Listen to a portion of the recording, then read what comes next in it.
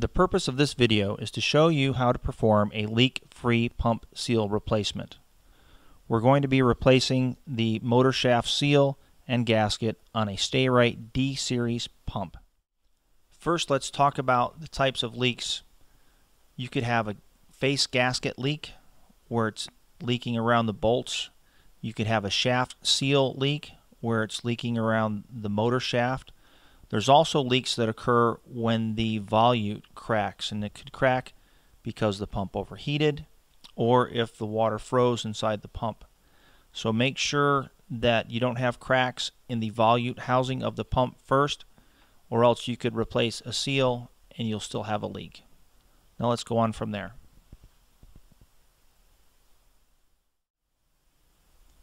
As with any maintenance operation, you always first want to remove and lock out power from whatever it is that you're working on. With a pumping system, you also want to remove any pressure that may be on the system.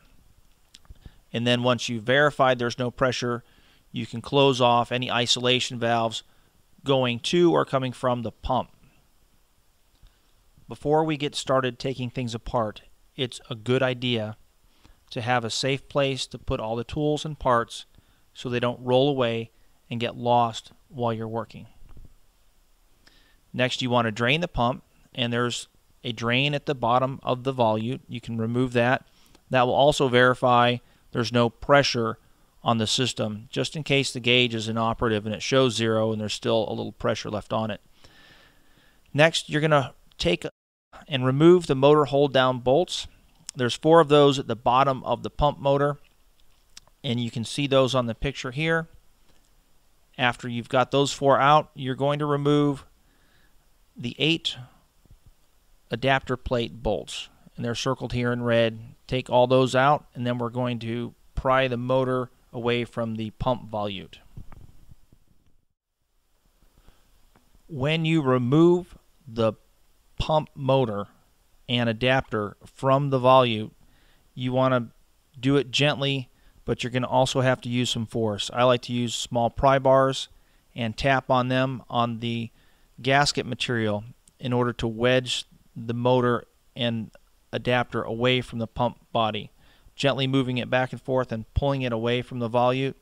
This will pull that out and then you can set it on a safe dry surface to work on. I like using a car mat or something where the pump won't get scratched and it's easy to work on. The way to achieve a leak-free seal replacement is to make sure that all your mating surfaces are clean. The way I like to do this is to use a scraper first, get off all the large pieces of gasket, then go with a razor knife and some of the pieces will be stuck on fairly well and I can scrape them off, make sure the blade is is level with the mating surface. And then to clean it with the wire brush. Really take your time and do a good job, and that'll make sure there's no leaks.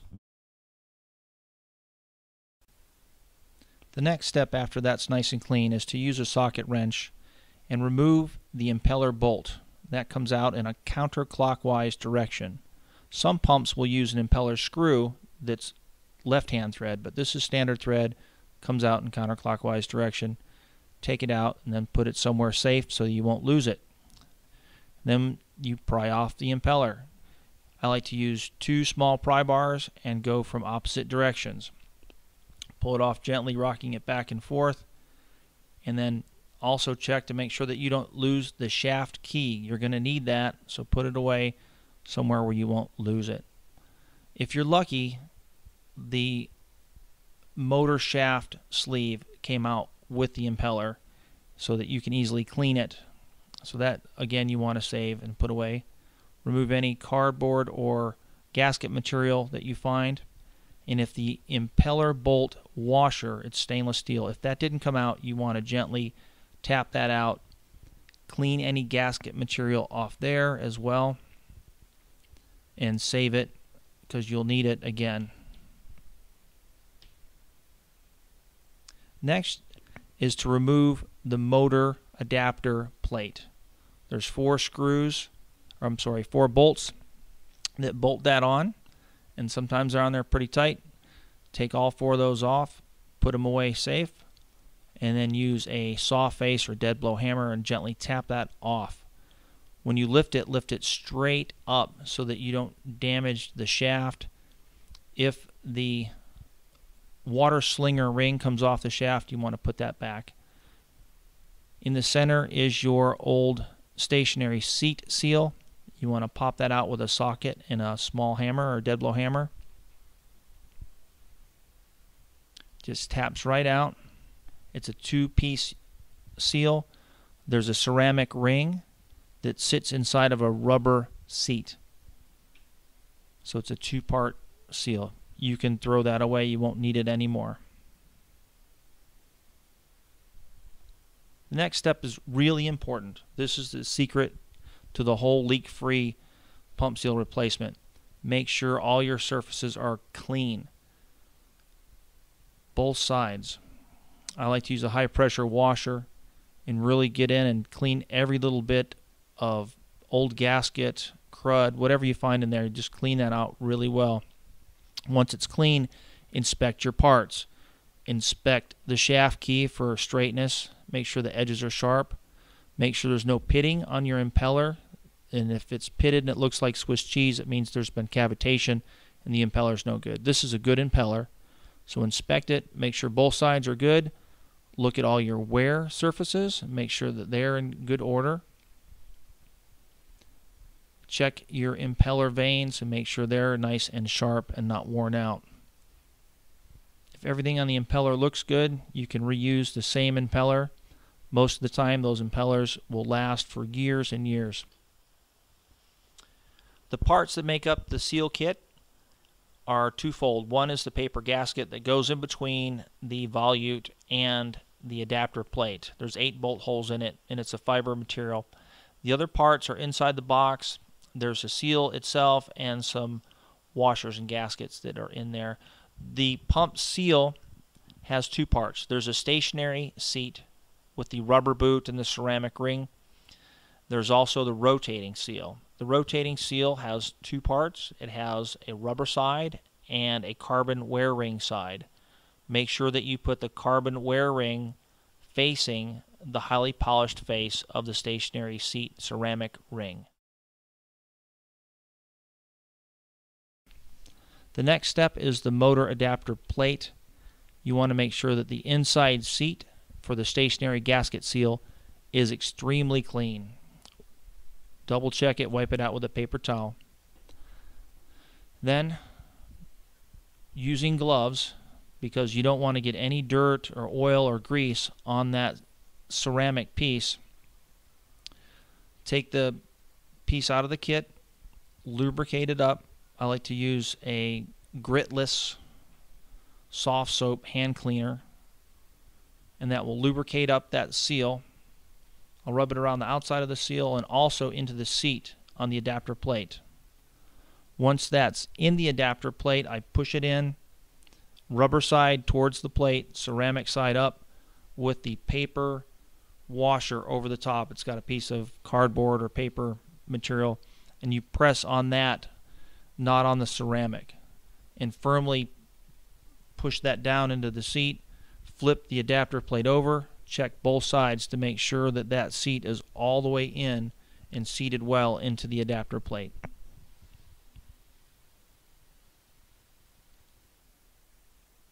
If you have any trouble getting the stationary seat to fit all the way into the adapter plate, you can use a 1 inch piece of standard pipe on top of the cardboard washer and gently tap that seal or that stationary seat into the adapter plate so that it mates tightly into it. If you hit it too hard, you could crack the ceramic. You don't want to do that. So tap it in lightly and it'll go in nice and smooth. This would be a good time to talk about order of assembly, putting things back together in order. The, this first picture shows the impeller and the keyway, and on top of the keyway there is a gasket with a slot in it for the shaft key. And the key locks the impeller and the shaft together so they spin as one. After that, the rubber side with the dot of the pump seal goes against the impeller. And you can see it here in the picture with the carbon ring facing up and the rubber side against that impeller.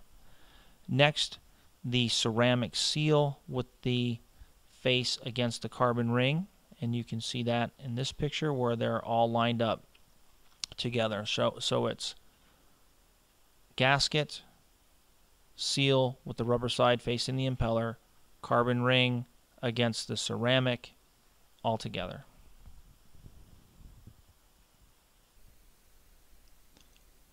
Next we're going to clean up the shaft sleeve. When you pull off the old seal you'll notice that there might be some pitting and corrosion and it's kind of dirty. So we want to clean that off very well so that the new shaft seal will seat on it properly and there's no places for water to seep by. So I like to use a fine grade plumbing sandpaper and this is the same type of sandpaper that a plumber will use when he's doing copper fittings and clean it off. Take your time, do a real good job, check it back and forth a couple times. We're going to get this ready in preparation of putting on the pump adapter plate. And this is the plate that goes in between the motor and the volute. When the shaft sleeve looks good to you, we're going to put it over the top of the motor shaft. Look for the keyway and you want to line those two up. There's a slot on the motor shaft and on the sleeve itself. If the sling ring came off, you want to put that back because that protects the motor from any water drips that might come up and try to work their way in towards the motor.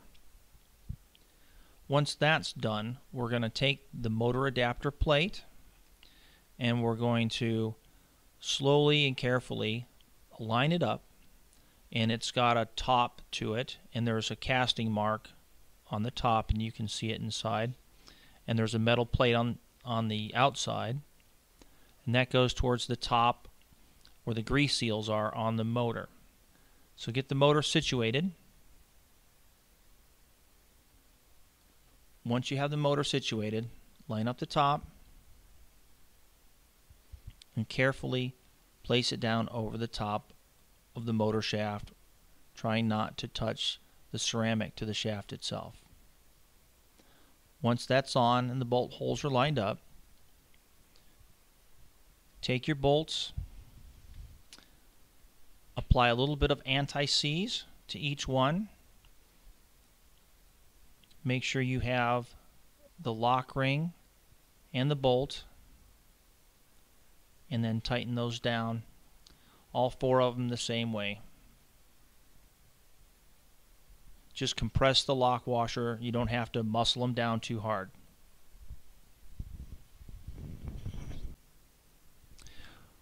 Once those are hand tightened in, take your wrench and tighten them down.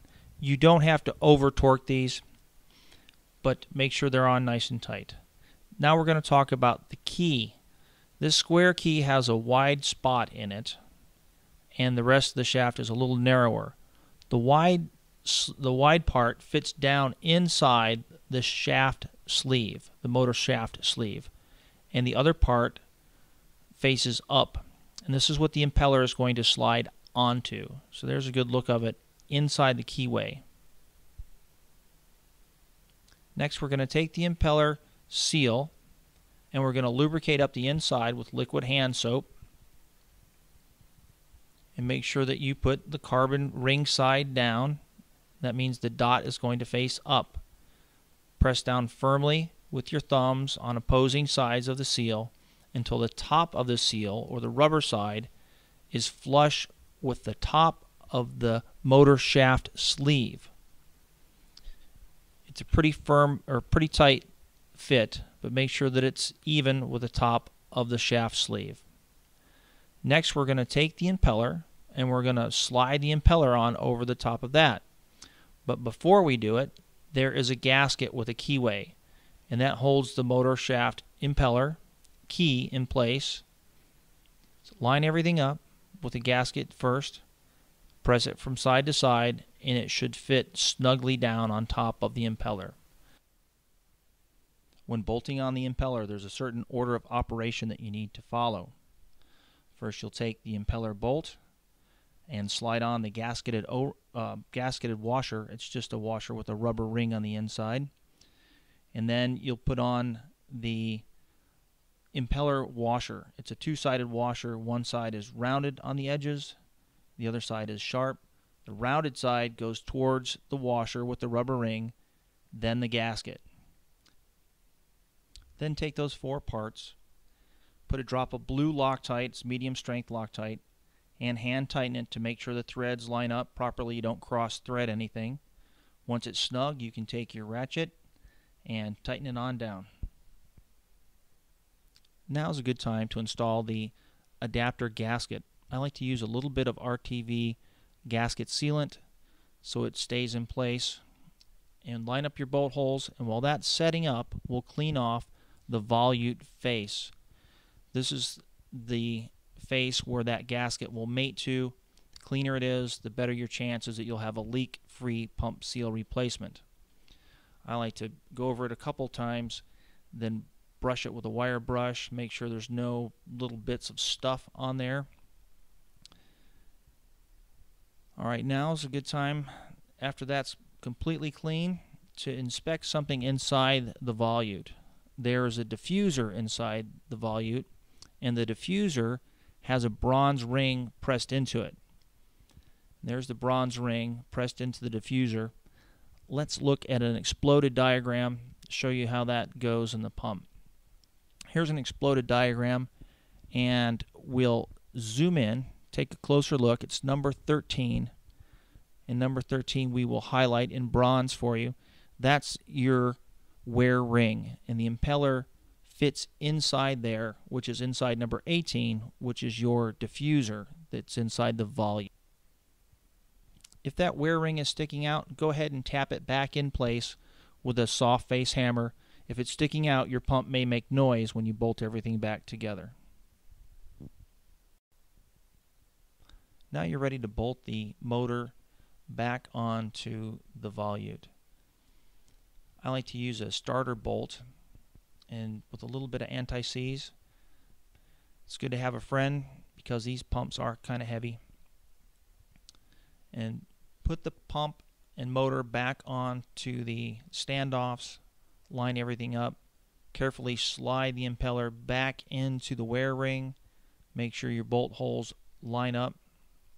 And once it's lined up and you start putting the bolts in, the procedure is to clean the bolt, add a little anti-seize, and then go in an opposite pattern. So if you do one bolt on one side of the pump, then go to the other side of the pump and do the next bolt and all the way around until it's snug.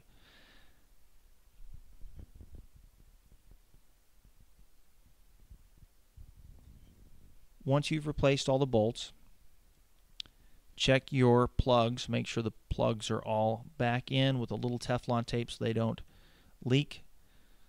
Triple check all your bolts. Make sure everything's good, snug, and tight. I'd like to thank you for watching. I hope this helped you perform a leak-free pump seal replacement. If you'd like more information, you can go to the show more of this video.